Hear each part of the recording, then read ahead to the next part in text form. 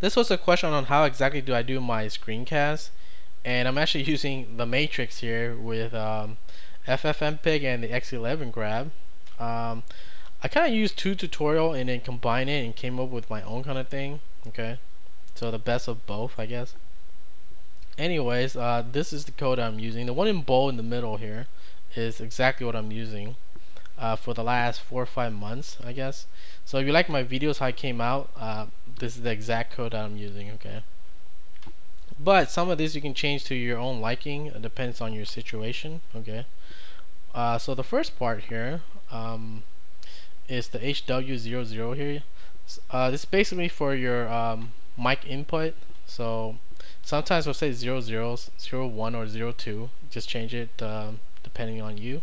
Or you can use pulse up here if you like. You type in pulse and I'll use pulse audio. Okay. Uh, the other difference is what is this? Oh yeah, right here your resolution. This part. Some people type it in manually. I don't like to do that. Okay. Um, what I like to use is this this code here, which I got this from Marco Polo X. Basically, what this will do is just grab it automatically. So whatever resolution you're on, doesn't really matter. This thing will just grab it using the xwininfo. So you have to have that installed also. Okay. Uh, and as far as the codecs, um, I'm using the one by uh, Verb3K's recommendation, so I'm using that. Uh, you don't have you don't have to use uh, MKV. You can use uh, any container you want, like AVI.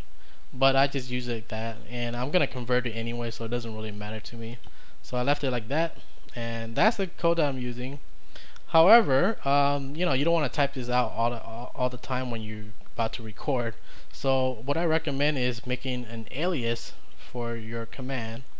Uh, hopefully you know what a bash alias is. if you don't, you can watch a video on that. Uh, so this one is for full screen, okay?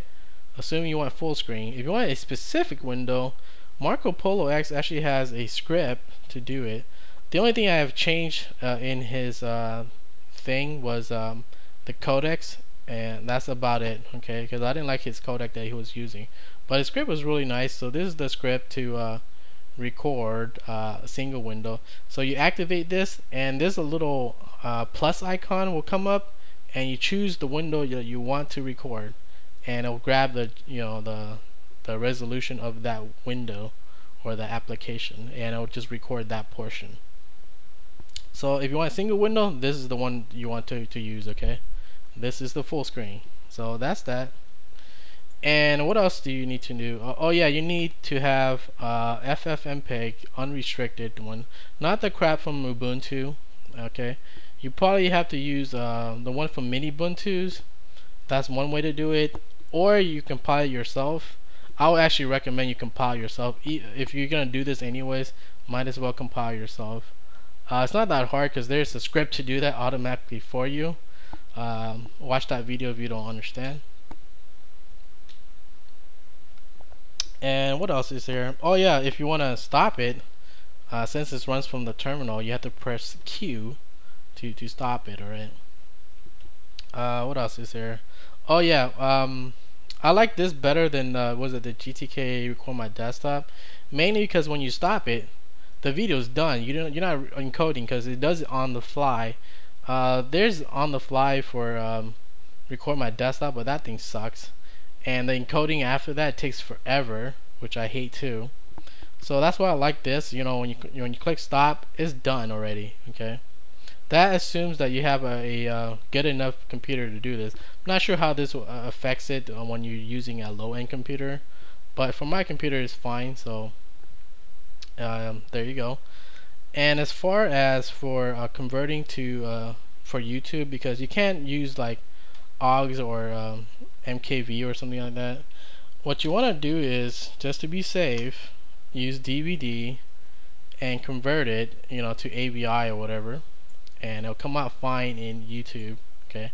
Hopefully you know how to use DVD and if you want to trim it like um, you know the beginning parts where you have the terminal and you have to close the terminal at the end you can always trim it with um, Avid just load it up and you you know seek it to uh, whatever position and you go start and end and I'll just trim it. This one would not uh, encode it or re-encode it, it'll just cut it, okay? So hopefully you know how to do that. I'll have a video for that too. And I think that is it. Okay, this is not for new users. So if you're comfortable with the terminal and all that, uh, I actually recommend doing it this way because it's, it's smooth, okay? And it's convenient too. When you're done with the recording, it's actually done. So that's what I've been using for the last four or five months. And if you like my videos how it came out, this is exactly what I was using. Alright, there you go, that's it.